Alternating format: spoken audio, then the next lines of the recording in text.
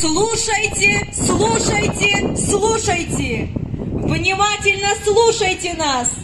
В час юбилейный, торжественный Игра «Зорница» приветствует вас!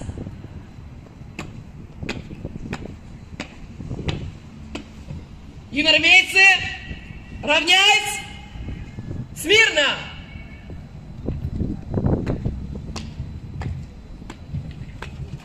Товарищ главный судья, юнормейцы на открытии финала военно-патриотической игры «Зорница» построены. Командующий парадом юнормеец Трифонов.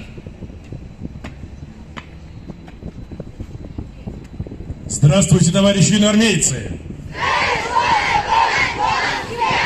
Поздравляю вас с открытием городского финала региональной военно-патриотической спортивной игры «Зорница», посвященной 77-й годовщине победы в Великой Отечественной войне.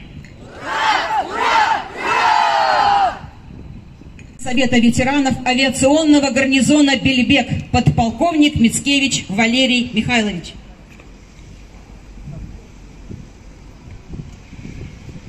Товарищи армейцы, поздравляю вас с юбилейной датой 55 лет со дня создания военно-патриотической спортивной игры «Зорница» и с наступающим праздником 77-й годовщины со дня победы в Великой Отечественной войне.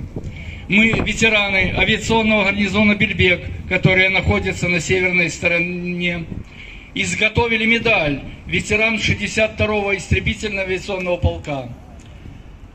62-й истребительный авиационный полк был сформирован 26 сентября 1941 года и принимал активное участие в воздушной битве за Севастополь, за Крым, Новороссийск, Керчь. Более 150 авиаторов, летчиков погибли за нашу великую землю. Разрешите от имени ветеранской организации вручить посту номер один города-героя Севастополя медаль от ветеранов войны, ветеран 62-го истребительного авиационного полка, аэродром Бельбек.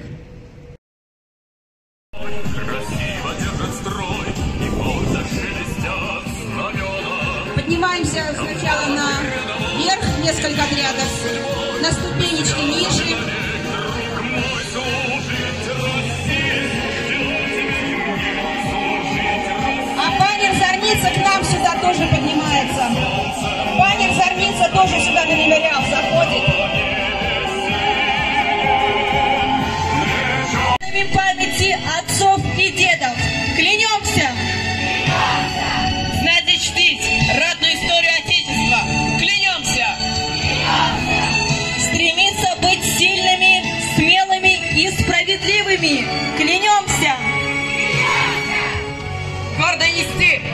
почетное звание юнормеец.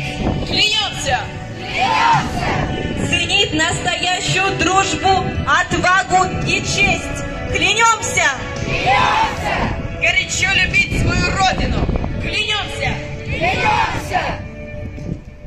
Мы находимся у Вечного Огня, поста номер один города-героя Севастополя где проходила юбилейная встреча игры «Зорница» военно-патриотическая. Мы присутствовали, значит, частью ветеранской организации для вручения медали номер один ветеран 62-го истребительного авиационного полка. Ее вручили, значит, э, посту номер один города-героя Севастополя. Можно несколько слов, кто рядом с вами? председатель Совета Всероссийской э, организации «Боевое братство» Кот Павел Семенович. Начальник связи 62-го ИАП Мотус Николай Иванович. Командир авиационной эскадрильи 62-го истребительного авиационного полка Дякин. Начальник группы парашютно-тормозных сис- систем Великобратский. Ветеран 62-го истребительного авиационного полка, 65-69 год, генерал-майор Михайленко Юрий Васильевич. ветеран 62-го истребительного авиационного полка, ветеран Афганистана Карпушин Александр Анатольевич. Ветеран Афганистана, старший лейтенант Плакида Игорь Тарасович. Товарищи офицеры, разрешите с вашего позволения вручить ветерану 62-го истребительного авиационного полка генералу-майору Михайленко Юрию Васильевичу медаль. Ветеран 62-го истребительного авиационного полка. Вот вам удостоверение.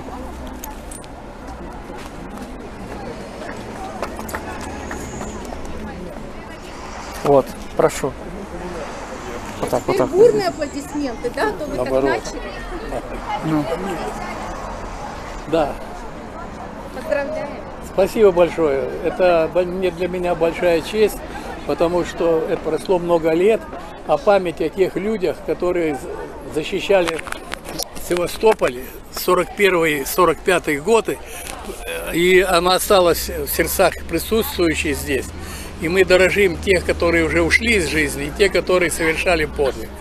Но в этом полку первый э, смешанный полк, который ком- комиссар полка Торбинов вместе со своими э, товарищами совершил первый подвиг Гастелла, который он ударил своим самолетом, своей жизнью по колонии, по колонии немцев, двигающей по дороге э, с Бахчисарая на Севастополь.